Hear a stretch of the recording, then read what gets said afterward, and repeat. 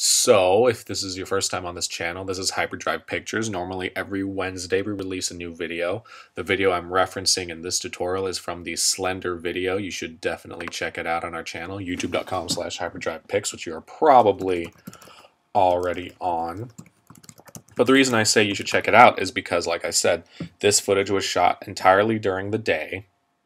And then at uh, in post production, we changed it to look like it was a shot at night, and you can actually see kind of an entire before and after of what the video looked like. So if you go to our main channel page and scroll down to the beginning of our videos, we have Slenders looking for you, which looks like it's shot at night. And then Slender's looking for you original sound and color. So that's what it looked like when we actually shot it. So you can actually do a little bit of a comparison to see how we got from point A to point B. And this tutorial will show you how to do that. So the reason we're releasing this tutorial instead of a new video is because it's Thanksgiving, everybody's home, and even though we just started, I'm personally very thankful for all the views that we've gotten, so I wanted to give back a little bit with this tutorial because a lot of people have been asking me how to do it. So with all that said, let's get started. I'm here in Final Cut. I've got my footage right here. This is the raw footage from Slender, some of the raw footage. And as you can see, it was definitely shot during the day. So let's change this to nighttime. It's actually much easier to do than you think in Final Cut. To get started, go into here and pick a color under matte. We're going to generate a color matte.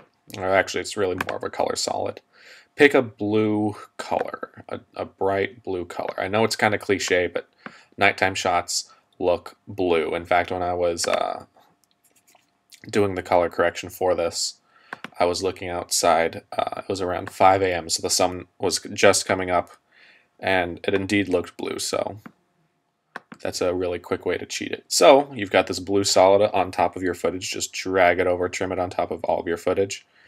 Click on it, go to composite mode, and hit multiply. So right away it looks darker and it's a little hard to see, but then you're going to mess with some of these controls. So you're going to go to motion and you're going to mess with the opacity. And you'll notice the closer to zero it gets, the more daytime it appears, the closer to 100%, the more nighttime it appears. You might not want to do 100% because that is kind of overpowering and you won't have much color at all. Maybe drag it. I, I found a good medium around 75 to 80%. So let's, uh, this looks like 80% is good. One thing that's going to help you out is to go into the color correction view. And these waveforms will help you read your footage. So basically, these two will tell you how bright something is, and this will tell you how much of a color there is, red, green, or blue. And this will tell you where your color kind of shifts towards, which is right now towards blue. So as I take the opacity back down to zero, the color is kind of right in the middle. We've got a lot brighter.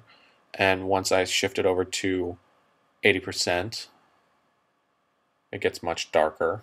And it also gets much bluer. So even though we do want it to look like nighttime, we don't want it to look so dark that our audience can't see what's going on. And right now it's really hard for me to see what's going on. So I'm gonna I'm gonna do 70%. Let's do 70%. You know what? 65.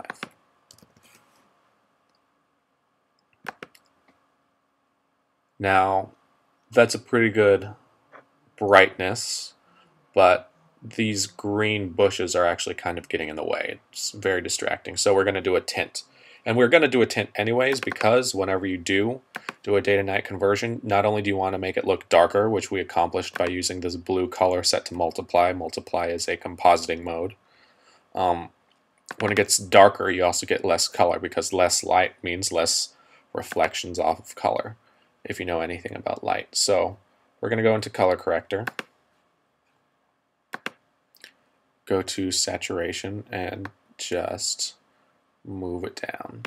Another way to do this, and my preferred way of doing this if you're just going to do a tint effect, is go to Image Control, Tint. And it's going to automatically make it 100%. We don't want there to be no color. So we're going to bring the tint back maybe maybe to 80, 85%. No, a little bit more. So you can see a little bit of green sticking back in there, which is good. We want that. And then what you're going to do is you're going to copy this tint to every other clip in your timeline. In our case, it is just one other clip. So what you're going to do is select the clip with a effect on it, hit copy, then select every other clip, or in this case, our one other clip. And instead of hitting paste, you're going to hit paste attributes, and you're going to paste filters. And now this looks like it was shot at nighttime. So pretty easy that's basically how I did it. Now, not every shot had the same 70% tint and what was it, 80% or 65% color multiply on top of it. Some shots, because of what was in the background, needed more of uh, the color, less of the tint, vice versa. So you're going to have to eyeball it, and that's where these come in handy. So these will tell you if there's like a huge red spike that's going to get distracting. Like, you know, there's a big red car in the back of your shot. You're going to need to tint it down to bring it down to something that looks uniform with everything else. So that's the basic concept. Now, really quick, I'm going to show you how to do something in After Effects, even though I said this was for Final Cut. If you're watching this, maybe you want to see how to do this in After Effects. I'm trying to get to everybody here. But I'm going to show you how to fix a bright sky in After Effects. Because when you're shooting these, you don't want to have bright skies. You want to have no skies, just like in these two shots. So this is just our actress Sasha against a row of bushes, and this is just a wider shot of bushes, and then we have a large hill in the background. So it's really just earth that you're seeing.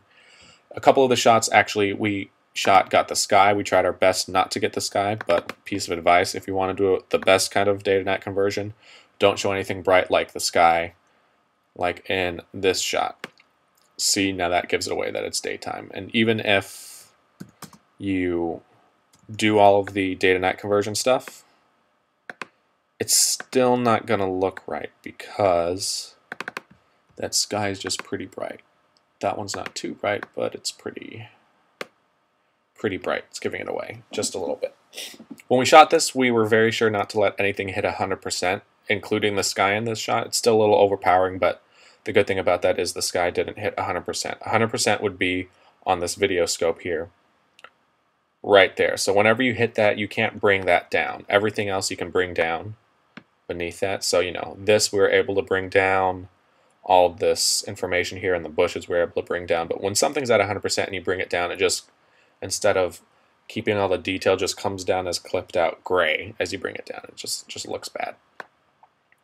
But we can actually make this look a little bit more convincing in After Effects. So we're going to switch over to After Effects. Already got this shot queued up.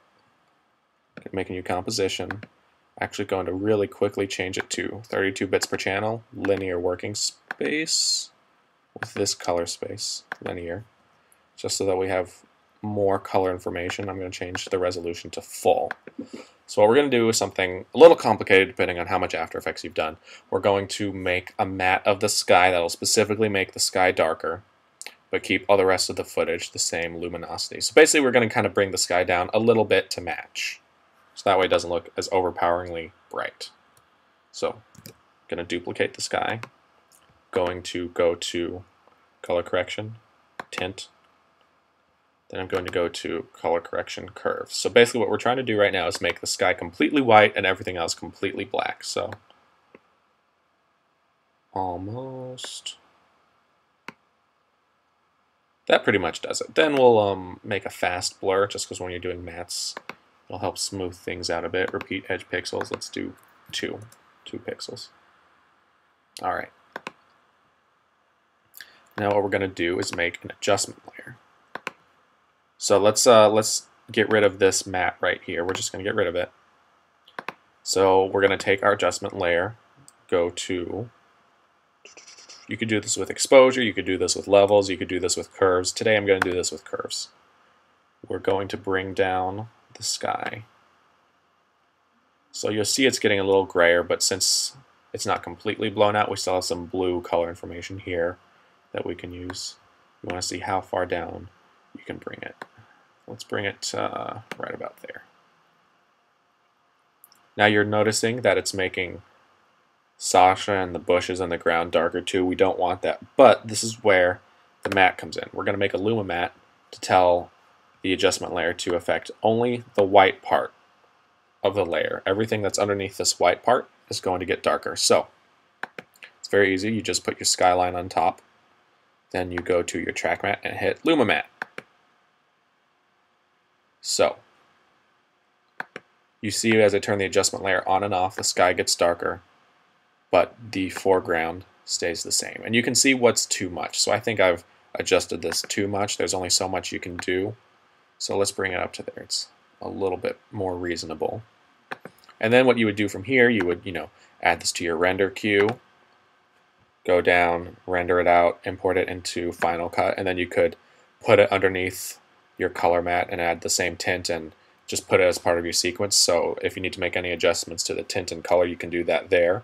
Or if you wanted to in After Effects, some people prefer to do it this way. It depends on how in-depth you want to get with each shot. You can just finish the color correction in After Effects, which is again super easy. You just basically do the same thing that you did in Final Cut. You make a blue solid, set it to multiply. What was our opacity? 65%. Make an adjustment layer. This one doesn't have Luma Matte, it's just a plain old adjustment layer. Then tint it to what was it? 80, 85%. And our blue solid's a little purple.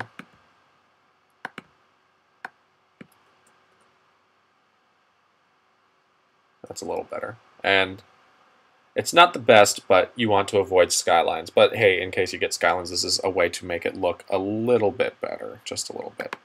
We went from that to this, so it's not as distracting. But yeah. So the reason I showed you this was because I did the most of the color correction in Final Cut because I knew if I was going back and forth between After Effects, that would make the workflow take a lot longer. And the multiply and tint effect is easily done in Final Cut, so I don't need After Effects for that job, especially since most of the shots are like this, where there's no sky to worry about, and we set our camera to warn us if anything was peaking at 100%. So there's no 100% peaks in there at all. So that's why I didn't Final Cut. Anyways, I hope you enjoyed this tutorial. I hope you're able to use this method. If you want to learn more about day to night conversions, you can actually you can actually go to videocopilot.com or sorry, .net because Andrew Kramer, that genius over there, has an amazing tutorial on how to do day to night conversions in After Effects, and it talks about some other um, techniques. And basically, the best thing to do is have a bunch of different techniques at your disposal. I don't always use the one I showed you here today. Sometimes I do it entirely in After Effects. Sometimes I use the tutorial that Andrew Kramer put up. So just scroll down. I think it's somewhere here near the bottom. It's been a while since I watched it, but I definitely highly recommend it, as well as every other tutorial here. This is an amazing resource if you're looking to get into After Effects. It's in there somewhere. I probably saw it there, but hey, there you go. Also, again, thanks for watching. It's Thanksgiving tomorrow, but please be sure if you enjoyed this video or any of the other videos we've shown you, please be sure to subscribe. We really appreciate it. And also, you can check out last week's video. It's called Locked and Loaded. It was pretty funny. If there's any requests for some of the other effects in that video, I can go in and do a tutorial on how to do that as well. So thanks for watching Hyperdrive Pictures. We really appreciate you watching and subscribing. And have an awesome Thanksgiving and have an awesome time using this or any other day to night conversion techniques. Bye.